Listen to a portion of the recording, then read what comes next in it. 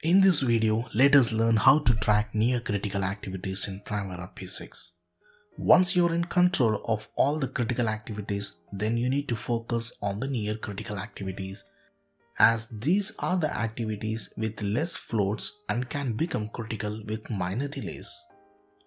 So let us see how we can show the near critical activities in schedule for better tracking. First, let us create a new filter called near critical. Click on filter icon, click on new and give the name.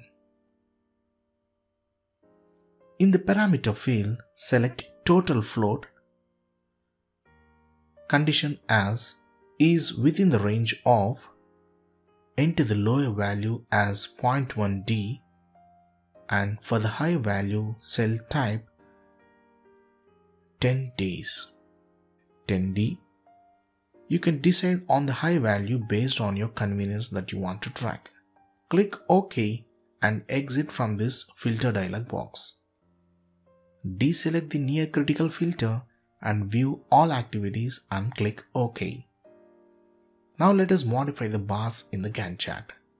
Right click in the Gantt chart section and select bars.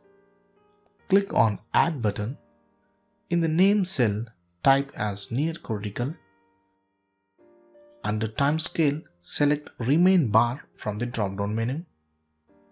Under the filter, select the default normal filter and also the newly created filter near critical. Click OK. In the bar style tab at the bottom of this dialog window, select the unique color such as pink color to easily identify. Just ensure that this near critical bar is below the non-critical and normal bar. You can adjust the position by shifting up or down.